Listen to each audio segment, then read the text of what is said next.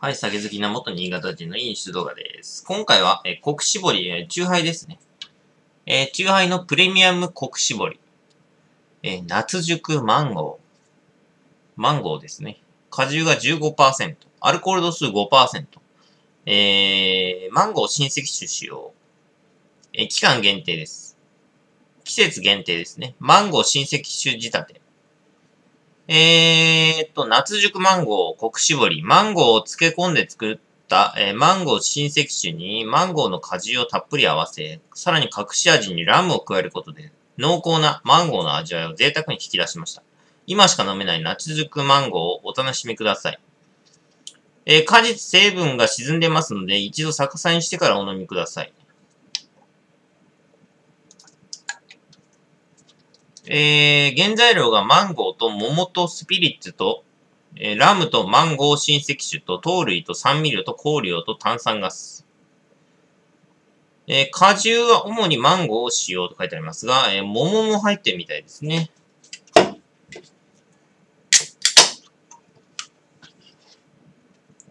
おー、すごい。これ絶対うまいやろ、これマンゴーって。俺マンゴーなんて、100円ぐらいのマンゴーしか食ったことないぞ。1個、1個100円ぐらい。あの、なんだっけ？すっげえ高いやつで1個10万円とかするんだろう。確か。乾杯。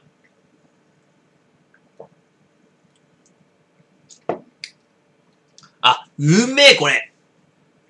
これはうまい。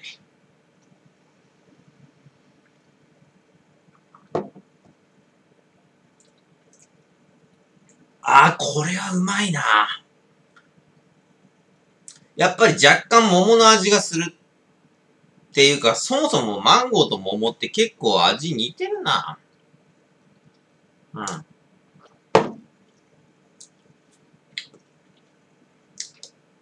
あー、うまいな、これ。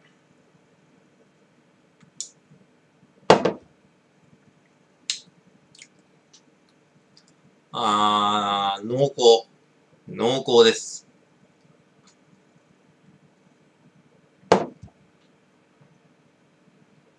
濃厚かつ、この香りが豊か。実に香りが豊か。これはうまいな。これはうまい。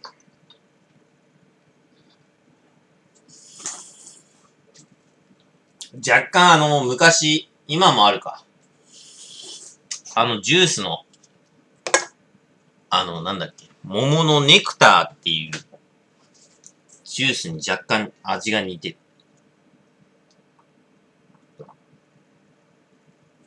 ああ、これはうまい。これはうまい。これはうまいわ。間違いない。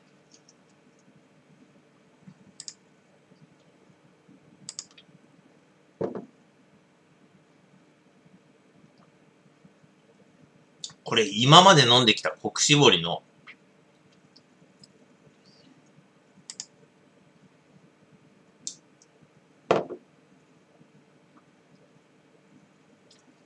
国搾り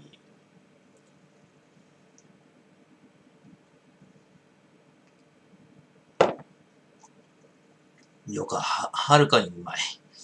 うまいな。これはうまい。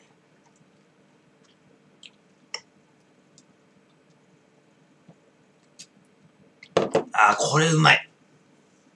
あの、単純にマンゴー自体がうまい。そもそもマンゴーってなかなか買えないじゃないですか。高かったりね。するんだけど、これはあのー実にマンゴーの美味しさを、本当に、あの、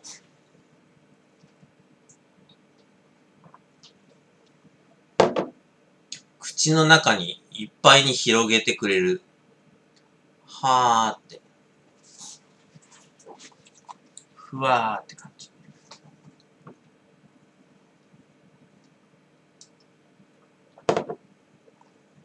ああ、これはうまいな。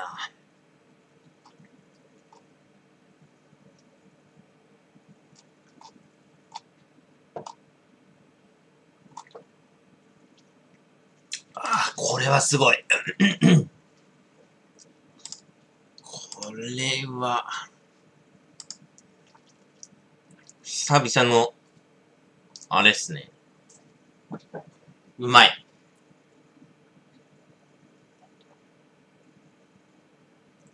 そもそもチューハイでなかなかマンゴーってないでしょ。だいたいそのマンゴー味のチューハイっていう時点でもうすでに珍しいんですよ。うん。なんでかっていうと多分マンゴー自体値段が高いからだろうね。で、その果汁を15%も使用している。うん。わけだよね。うん。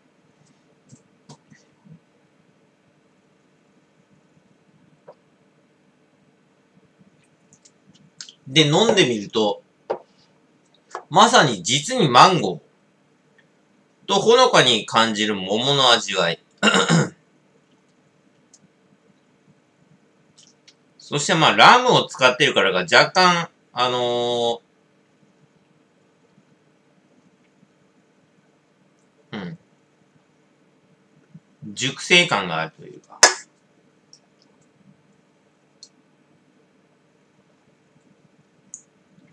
ラム酒を使ったことによって若干のこの熟成感。熟成感をうまく醸し出してる。これはすごいな。そしてこの、液体が、あの、すんごいまろやかすぎて、なんか若干、あの、液体がなんかスライムっぽい。なんていうの、とろみを、とろみがあるね。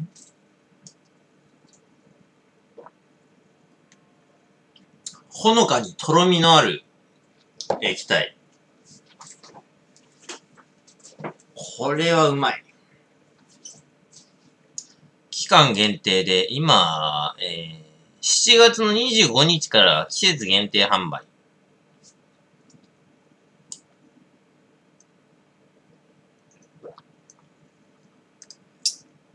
ああ、これはうまいなこれはうまい。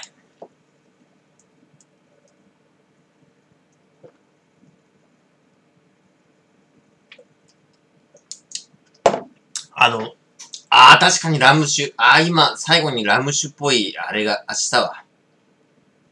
味が。あのー、国絞りって結局、本絞りのパクリって言われてたんだけど、俺もずっとパクリだろうなと思って。まあ、いわゆる劣化版だろうな、みたいな感じで思ってたんだけど。全然美味しいですね。最近、あの、本気を出してきたのか、あの、本絞りとは別の、あれですね、濃厚さ？いわゆる国絞りプレミアムっていうのができて、全体的にそのプレミアムの国絞りは、あの、濃厚で、本絞りは割とスッキリ系なんだけど、あの、この国絞りは、あの、あれですね。濃厚系で攻めてきてる。うん、ちょっとあれですね。うん。本絞りよりはあ明らかに、あの、濃厚っていうか、濃厚さがある。うん、まあ、差別化ができていいんじゃないですかね。これはコクはマックス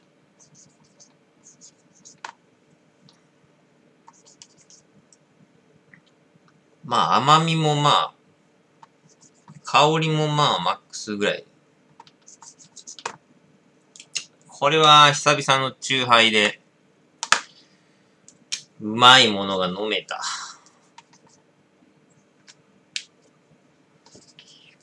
はい。えー、5455です。ご視聴ありがとうございました。